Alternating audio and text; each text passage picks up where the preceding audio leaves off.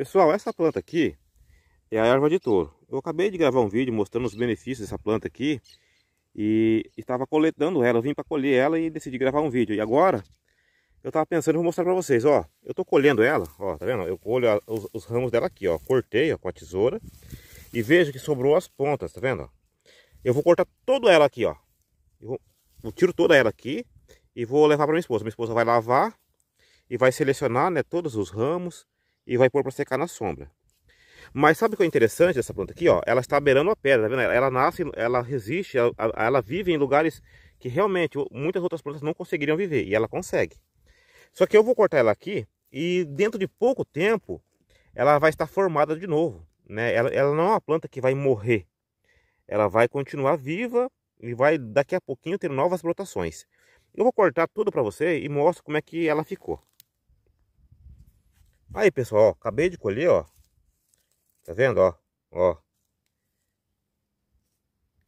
E ficou dessa forma aqui, ó, o pé, tá vendo? Eu vou aguardar e as brotações vir. Depois eu vou gravar um vídeo e vou mostrar para vocês que realmente ela brotou, tá?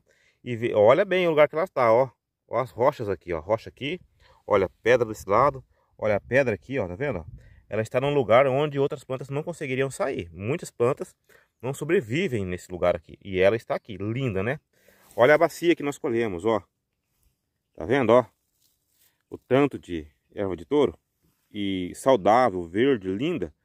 Agora, a minha esposa, ela vai lavar. Ela seleciona, ela pica, tudo manualmente, ela e o meu genro. E, e põe para secar na sombra tá certo? E a pessoa que comprar essa planta aqui, vai comprar uma planta que foi colhida com amor e carinho, foi, e foi cuidado com todo carinho, e vai ter realmente, com certeza, resultados, porque é uma planta de qualidade, tá bom? Se você quiser comprar a erva de touro ou comprar outra planta medicinal, erva baleeira, açafrão da terra ou outra planta, tanto planta seca como semente, muda para você plantar na sua casa. Conversa com a Larissa, nós temos semente, nós temos mudas, temos estacas, temos também planta seca, seca é, na sombra, lavado, selecionado, escolhido manualmente. Conversa com a Larissa no WhatsApp que vai aparecer na tela do seu vídeo. E com certeza você vai ficar contente, satisfeito em ter uma planta de qualidade na tua casa. O melhor é você plantar e você mesmo colher, porque vai ter a sua energia, o seu amor, a sua dedicação, o seu carinho e só de trabalhar colhendo a planta já é uma alegria muito grande. Então, se você tiver essa oportunidade quiser, conversa com a Larissa e vê com ela lá, tá certo? Deus te abençoe. Ore a Deus por mim, que eu vou orar a Deus por vocês também.